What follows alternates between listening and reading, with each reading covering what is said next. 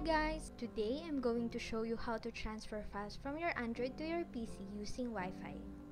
First, you need to download the Airmore application from the Google App Store and install it on your Android.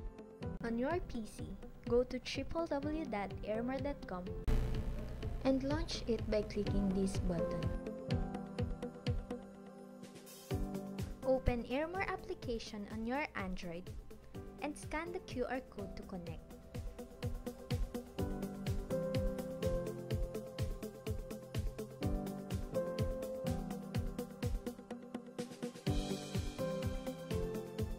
Once done, you can now start transferring files from your Android to your PC.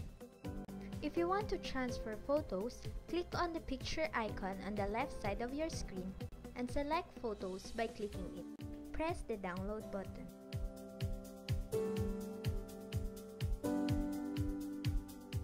Aside from that, you can also transfer music from your Android. Just click on the music icon and select music by clicking it. Press the download button to transfer. Recorded videos can also be transferred. Just click the icon videos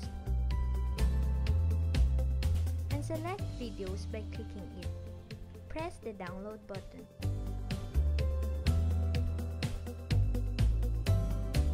Export your contacts by navigating to contact icon, clicking selected contact, pressing the download button.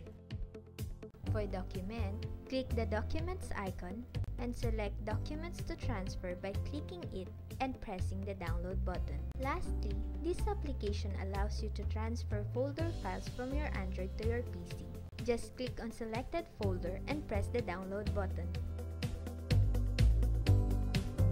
To disconnect, click on the Airmore icon and press the power button.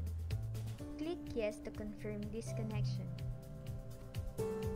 And that's a simple way to transfer files from your Android to your PC. Thank you for watching.